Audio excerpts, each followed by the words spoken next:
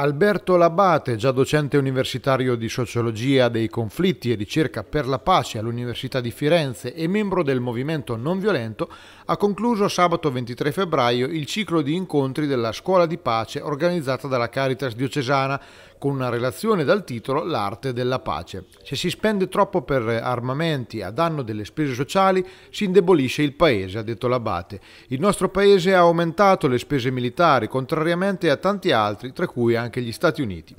La guerra si elimina con un processo graduale, conoscendo se stessi e gli altri, mettendo in atto la non violenza.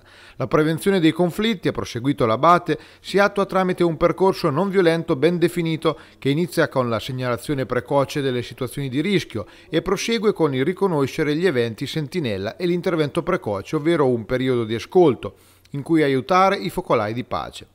Altri punti fondamentali del percorso sono le missioni di accertamento e le ambasciate di pace, persone che si fermano per lavorare a favore della pace, gemellaggi tra le scuole, creazione di ponti tra gruppi etnici diversi.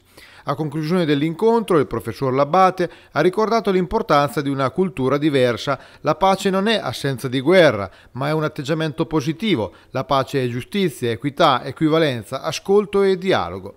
Nella mia esperienza, ha concluso il relatore, uno dei punti importanti è il concetto di assertività, un atteggiamento cioè di ascolto dell'altro che non accetta di essere calpestato e risponde alla non violenza con il confronto, ponendo domande e problemi e dal confronto poi passare al dialogo.